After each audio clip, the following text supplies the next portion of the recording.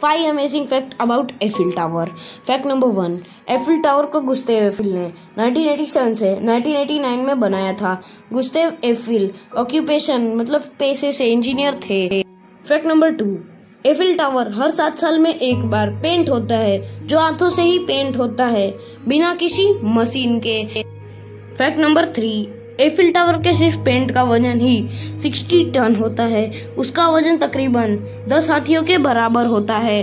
Fact number four Eiffel Tower का height 985 feet यानी 300 metre होता है और इसका वेट लगभग 10,000 टन होता है। Fact number five Eiffel Tower को हर साल 70 लाख लोग देखने आते हैं और एफिल टावर को बने हुए लगभग 132 साल हो चुके हैं।